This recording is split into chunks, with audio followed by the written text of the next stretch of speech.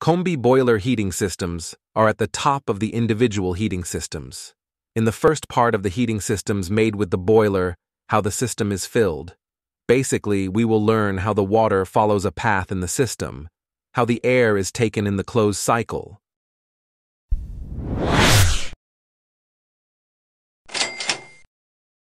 First, Clean water from the city mains line passes through the water meter and starts to fill the domestic water pipes. It is important to note that only domestic water fills the system. In order to fill the domestic hot water, the water must pass through the boiler and fill the domestic hot water pipes. What is meant to be explained now is to show how the system is filled. We will not be able to use hot water because the boiler is not working yet. Secondly, we will need to fill the closed cycle heating line.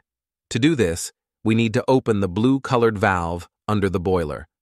After the valve is opened, the clean water from the city network line passes through the boiler and starts to fill the heating system. Since the system is empty, it contains air.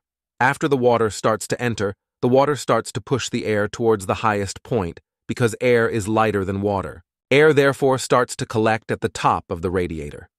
The air collected at the top point does not allow the water to circulate in that area. Therefore, the upper part of the radiator does not heat up. In order for the water to circulate, the air inside the radiator must be removed. In order for the boilers to operate in a proper and reliable way, there must be approximately 2 bar pressure in the system. A radiator bleeder wrench or a screwdriver is used to remove air from the radiator. This is done from the opposite side of the radiator valve, located at the top of the radiator. By turning the radiator bleed switch, the closed heating system becomes open to the atmosphere. Thus, the air, which is lighter than water, moves away from the system and the heating system is completely filled with water. Since air comes out of the system, the system pressure will decrease again as seen on the manometer.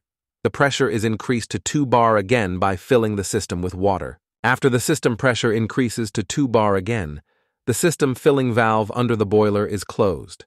The heating system is now ready for operation. If you like the information I have shared, please do not forget to subscribe to my channel and like the videos.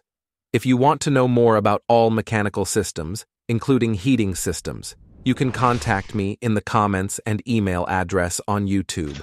I wish you good work.